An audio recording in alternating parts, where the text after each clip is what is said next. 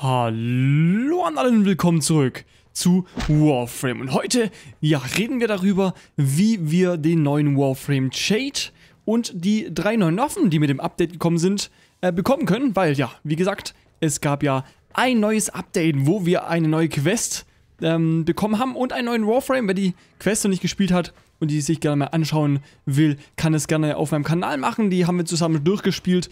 Und ja, heute soll es darum gehen, wie wir den neuen Warframe Shade und eben die drei neuen Waffen farmen können. Ja, und alles, was wir dafür tun müssen, fängt eigentlich damit an, dass wir natürlich die Quest ähm, Shade Shadows oder Shade Schatten spielen, die wir hier in unserem Kodex natürlich finden. Wir haben sie schon abgeschlossen. Ähm, ich will hier nicht draufklicken, gibt äh, sonst vielleicht ein paar Spoiler. Ähm, aber genau. Es fängt alles damit an, wir müssen die Quest Shade Schatten oder auf Englisch Shade Shadows spielen. Um die äh, Quests spielen zu können, falls ihr ja, die noch nicht freigeschalten habt oder fragt, warum ihr die nicht spielen könnt, ihr müsst als allererstes natürlich davor den äh, neuen Krieg oder den New War abgeschlossen haben, die drei Stunden oder sechs Stunden Quest, wie auch immer, ja, wie lange man da auch wirklich dafür braucht. genau, danach könnt ihr dann, wie gesagt, die Jade Shadow Quest spielen, wo ihr dann danach sogar auch schon die Blaupause für Jade gedroppt äh, bekommt. Ähm, und die findet ihr dann auch zum Beispiel hier in eurer Schmiede schon. Die ist bei mir jetzt hier auch schon irgendwo am Start. Genau hier. Sehr gut, genau. Dann haben wir schon mal die Blaupause abgehakt. Die braucht ihr euch dann eigentlich nicht mehr kaufen irgendwo. Und dann gibt es noch hier natürlich die drei Parts, die wir dafür brauchen. Optik, Chassis und Systeme. Und die drei Waffen ebenfalls können wir auch durch eine Mission bekommen, wo sie gedroppt werden können. Allerdings nur mit einer Chance von 5%. Und wo bekommen wir die? Natürlich hier bei der neuen Mission, die wir hier bekommen haben. Und zwar, ähm, ja, heißt die auf Deutsch Aufstieg oder im Englischen Ascension.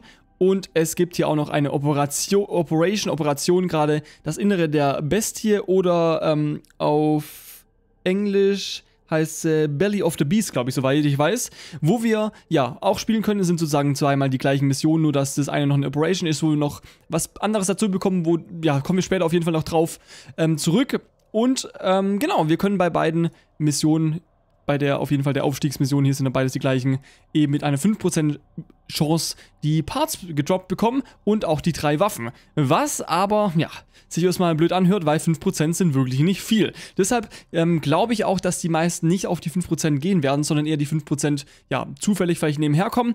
Was die meisten natürlich machen werden, was ich ich euch auch empfehle, ist auf, ja, aufs Larunda Relais zu gehen, wo wir jetzt mal schnell hingehen.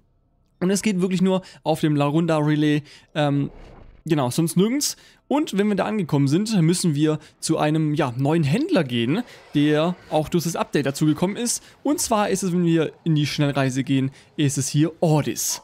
Der hier, ja, auf dem Larunda Relais auf uns wartet. Und wir sehen schon, wir haben hier ja, vier Mö Auswahlmöglichkeiten und wir gehen hier als allererstes auf die untere drauf, weil die oberen, die sind, ähm, haben was mit Operation zu tun, wo wir gleich auch noch zurück kommen, ähm, drauf zurückkommen. Und wir wollen aber als allererstes hier mal die Spurpartikel ähm, uns ansehen. Den Shop dafür. Der, wo hier jetzt dran steht, 28 Tage.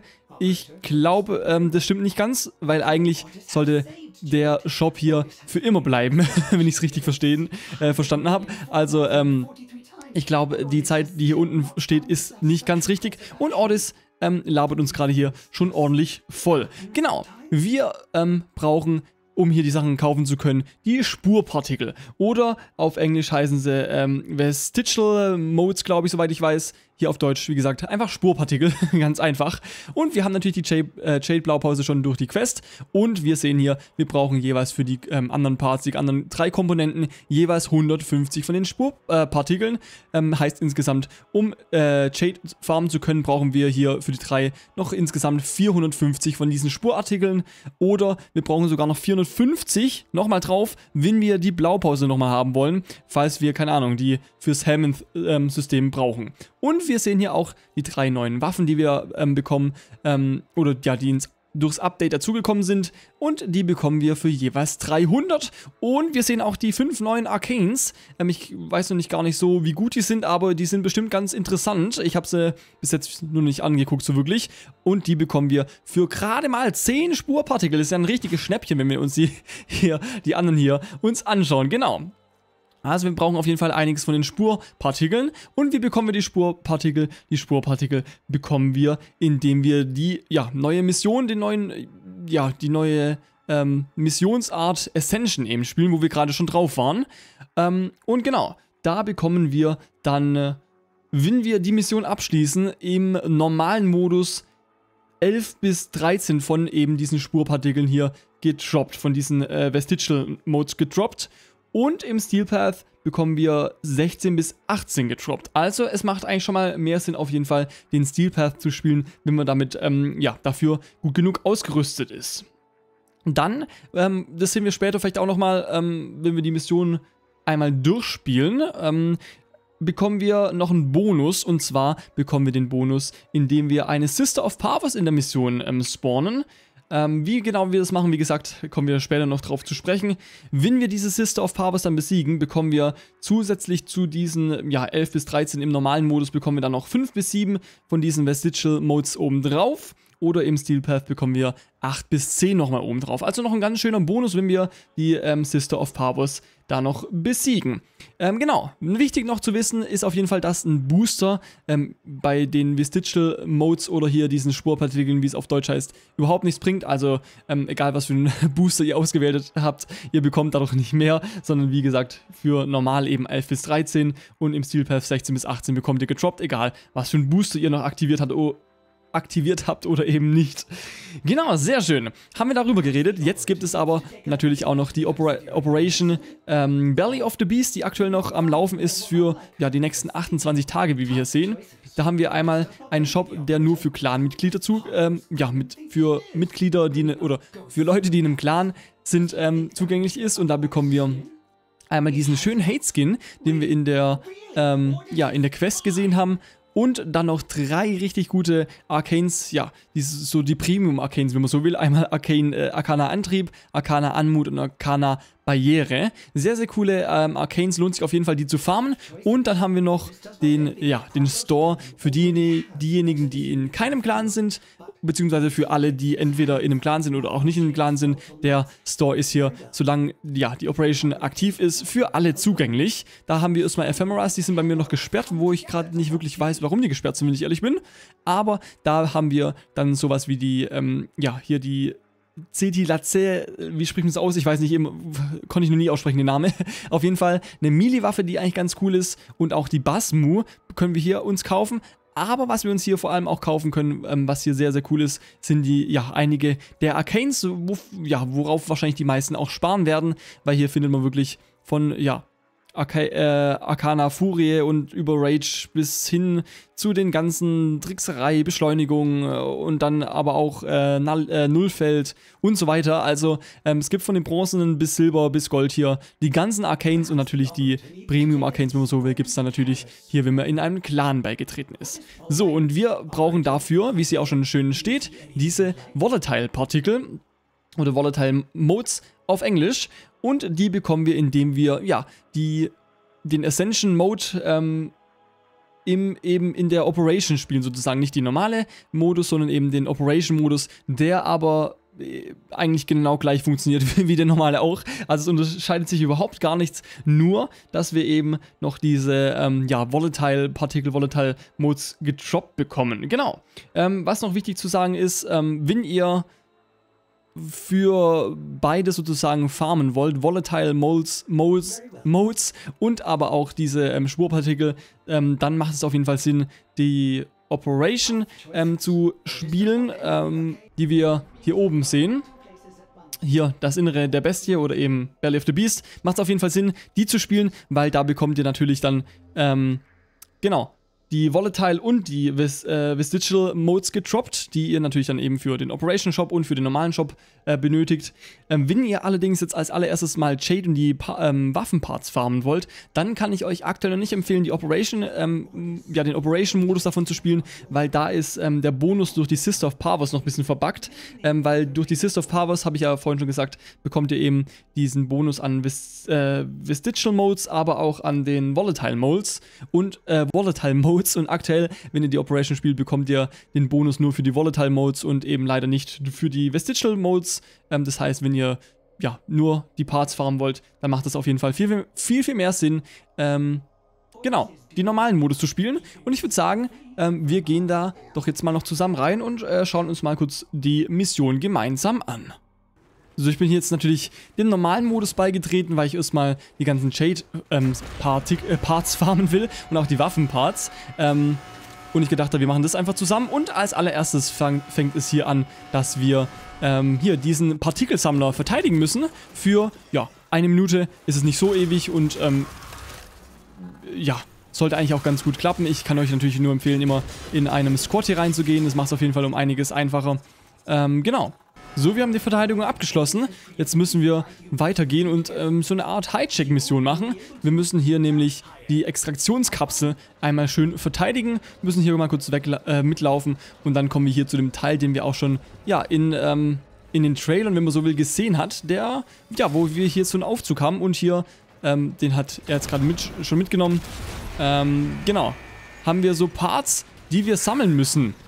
So, und hier stehen wir auch schon an so einem, ja, an so einem an so einer ionischen Ladung, die ist auch verstärkt und die können, müssen wir nehmen und sehen hier oh, ja, links unter der Map die ähm, Aufzugsenergie und wenn wir das hier drauf werfen, dann sehen wir, rup, bekommt der Aufzug plus 20 Energie, wodurch der hier weiter nach oben fährt und hier haben wir auch noch einen anderen Teil, den können wir einsammeln ähm, und zwar ist es hier für die Sister of Powers ein Köder. Davon brauchen wir drei Stück, was ich ja schon gesagt habe.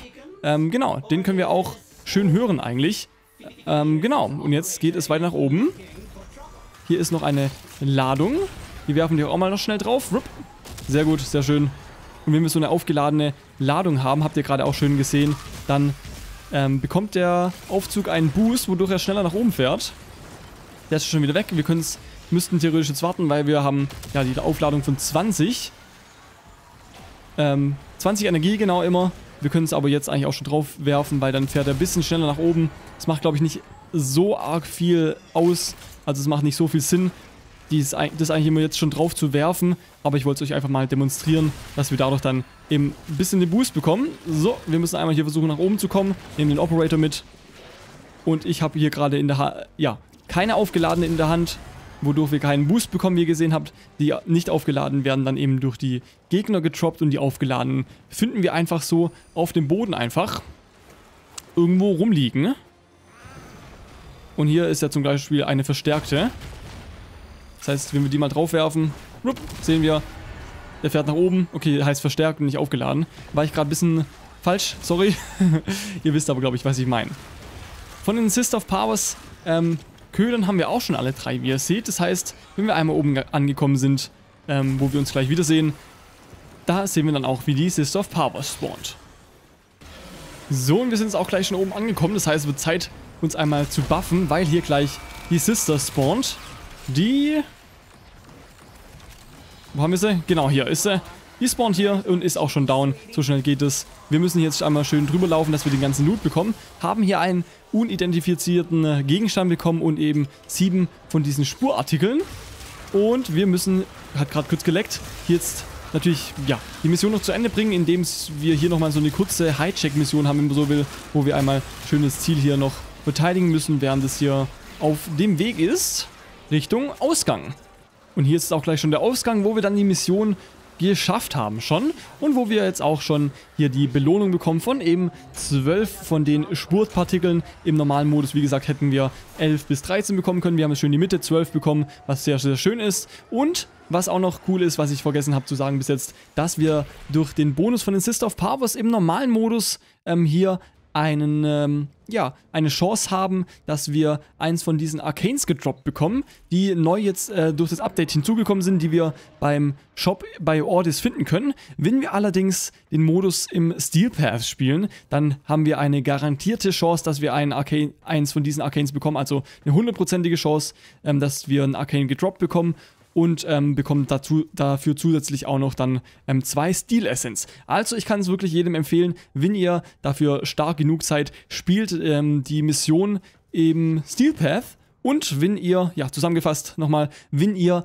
ähm, aktuell Jade farmen wollt und gleichzeitig aber auch noch ähm, die anderen, die ganzen Arcanes und so, was durch die Opera äh, Operation hier gerade aktuell am Start ist, dann farmt auch auf jeden Fall die Mission ähm, in der Operation-Ausführung sozusagen, also hier in der Operation, das Innere der Bestie oder äh, Belly of the Beast. Wenn ihr nur die Jade, Jade ähm, ja, Parts und Waffen farmen wollt, dann macht den normalen Modus ohne die Operation und geht am besten, wie gesagt, im Steel Path rein. Dann sollte das doch recht schnell funktionieren. Und ja, ich finde es eigentlich ganz cool. Bin gespannt, wie der Warframe wird. Ich habe bis jetzt natürlich noch nicht, muss noch einiges farmen. Ähm, ich hoffe, euch hat das Video heute aber da, dazu ja, weitergeholfen und auch gefallen. Wenn ja, würde es mich natürlich wieder wie immer freuen, wenn ihr einen Daumen nach oben da lassen würdet. Und vergesst natürlich nicht, den Kanal zu abonnieren und die Glocke zu aktivieren, damit ihr keine Videos mehr von mir verpasst. Und ja, dann sehen wir uns hoffentlich in der nächsten Folge wieder. Bis dahin macht's gut, haut rein und ciao.